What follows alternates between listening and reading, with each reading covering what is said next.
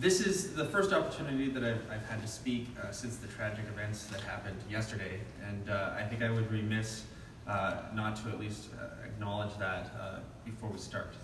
Uh, in New Zealand yesterday, there was a horrible tragedy.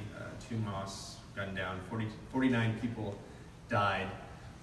I've been spending the morning before this announcement reaching out to our local mosques here in Burnaby, but also in Vancouver. I know that Kirsty's uh, been doing the same. Uh, my seatmate in the House of Commons is uh, Joel Lightbound.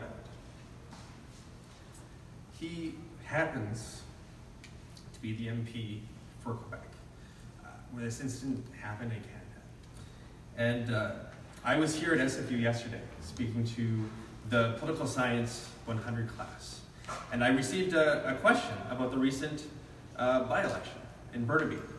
And the question was, um, are you concerned about some of the anti-immigrant, anti-Muslim rhetoric that we heard uh, during the last by-election here in Burnaby?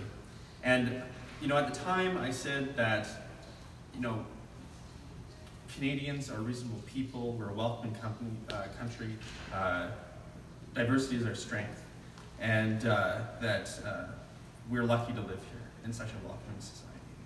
Uh, and that, you know, while I had concerns, I wasn't too concerned. Joel Lightbound gave a very moving speech at National Caucus after this event uh, happened in Quebec in Canada. Uh, one of the events that are said to have inspired this event in New Zealand. Uh, and he said to us that he had heard similar rhetoric in, in his community.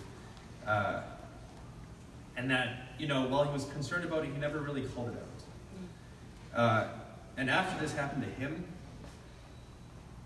he would never let that kind of talk happen again about calling it out.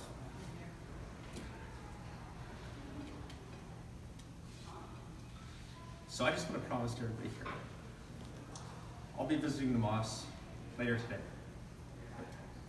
As things kind of heat up in our community, I personally, as your representative, will be calling this out making sure that this absolutely unacceptable behavior doesn't happen.